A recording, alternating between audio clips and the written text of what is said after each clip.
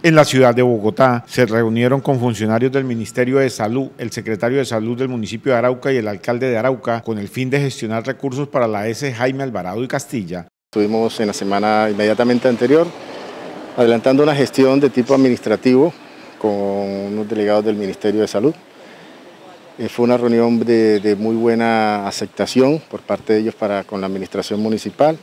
Se lograron eh, ciertos recursos ya para que nuestro municipio pueda articular con la S. Jaime Alvarado y Castilla para darle, digamos así, un oxígeno a nuestra S municipal.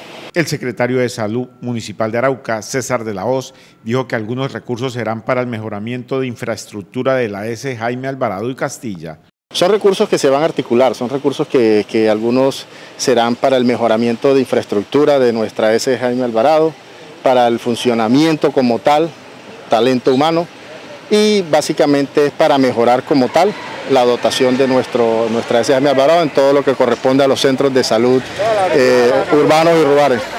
El jefe de la cartera de salud del municipio de Arauca explicó cómo está funcionando la S. Jaime Alvarado y Castilla por la pandemia del COVID-19. Pues usted sabe que toca hacer y seguir los lineamientos del Ministerio Nacional, Carlos, en este momento se están haciendo citas prioritarias, pero básicamente se está haciendo por plataformas, eh, las plataformas que conocemos nosotros, vías telefónicas, consultas telemedicina, eh, para de esta manera no haya un contagio, de, esa manera nosotros poder, ellos en su accionar, poder mitigar el contagio del COVID-19.